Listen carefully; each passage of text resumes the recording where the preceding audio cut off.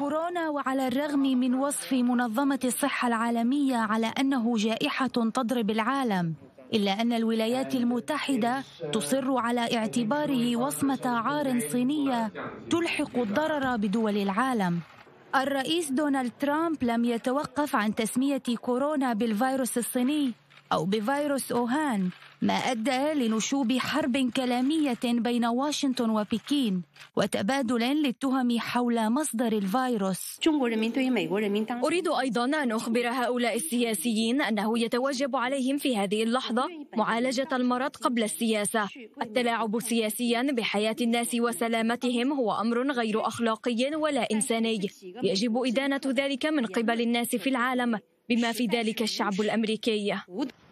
الصين نددت عدة مرات بتصريحات ترامب إلا أن الأخير مستمر في تصريحاته ويتهمها بإخفاء معلومات تتعلق بالفيروس ومعطيات مهمة من الممكن أن تسهل على الدول تجاوز الأزمة أسرع. فيما يمنحها أيضا الصبغة السياسية.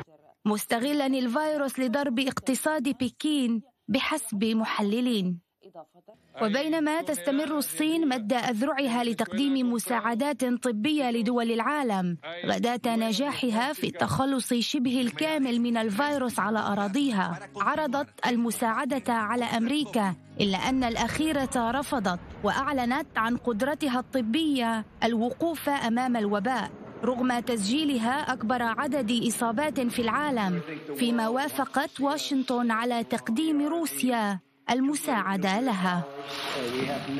ونبقى مع أزمة كورونا حيث حذر رئيس الفلبين رودريغو من انتهاك الإجراءات الاحترازية التي تتخذها الحكومة لاحتواء تفشي الفيروس. وقال إن الأزمة بالغة الخطورة ودعا الشرطة إلى إطلاق الرصاص في حال حدثت اضطرابات.